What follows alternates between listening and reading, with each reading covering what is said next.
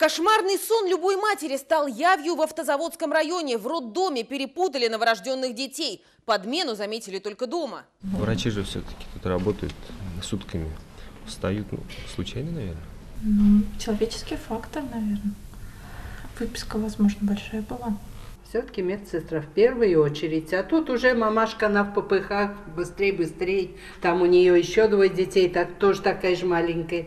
Вина медработников.